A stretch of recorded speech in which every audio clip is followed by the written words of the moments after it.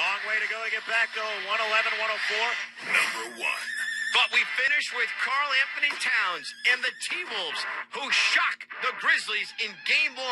KAT had a monster day from Alan Horton on 830 WCCO. D'Lo drifts left off the town screen, back to town, spins away from Morant, rises up down the lane and throws it home.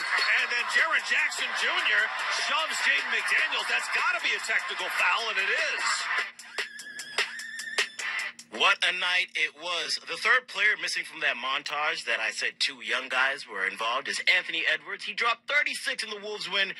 And if you were watching that Wolves versus Grizz game, there was an interaction between John Morant's dad and Karl-Anthony Towns' dad that has a lot of people talking. So for all y'all tripping out there on that interaction, here's Jon Krawczynski from The Athletic on the interaction.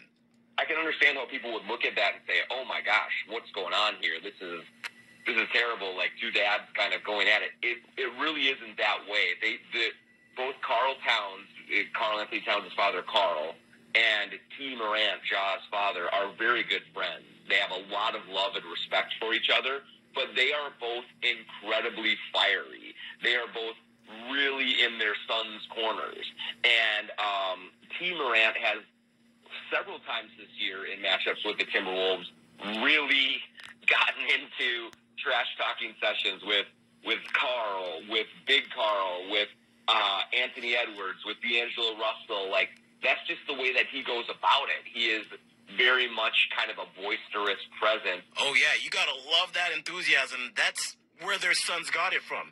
As we look at the games happening later on tonight, Celtics and the Net